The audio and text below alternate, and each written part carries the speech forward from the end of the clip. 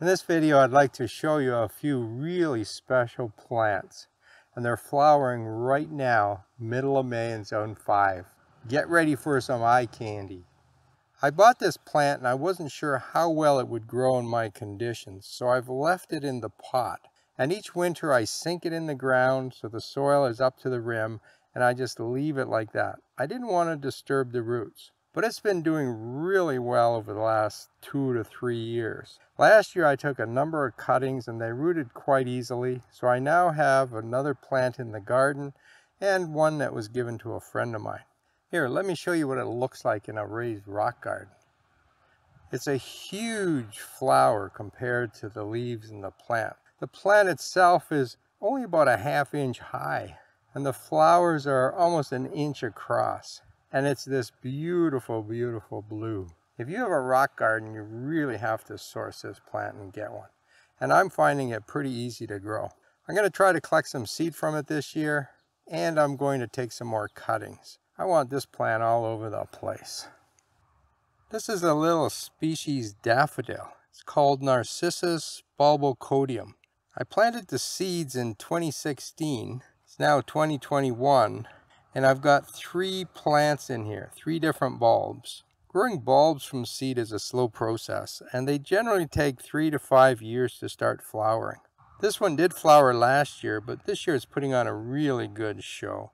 A couple of these are finished now, and I'm hoping they make seed. A couple more are coming along. What I'm going to do now is I'm going to keep it well watered, because I want the leaves to grow as long as possible to make strong bulbs. When the leaves die back, I'll dig up the bulbs and put it in my raised rock garden. It's time to come out of a pot. But when I grow bulbs, particularly smaller plants from seed, I like to keep them in pots for several years. That way I can track them. So this does have a name, and I also put a stick in. And the stick tells me that there's something actually in the pot. Because by July and August, these will have died back and I can't see anything. And I never know whether this pot is empty and had a plant in it that died, or it actually have something good. So these sticks tell me that this is a good bulb, even if I can't see anything in the pot.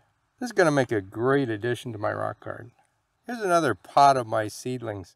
These are Trillium grandiflorum, and they've been grown for a number of years, and this is the first year that they're flowering. You'll notice the flowers are actually quite small for this species, but the plants themselves are pretty small too. They'll flower now, and as they're finished, I'll actually pinch them off because I don't want these to make seeds. I want all the energy of this plant going into bigger root systems. I'll probably keep them in a pot for another year or so, and then I'll put them out in the woods. But they're coming along really nicely. While we're looking at seedlings, have a look at this one. This is a primula called Primula pubescens. It turns out that primulas are really easy to grow from seed.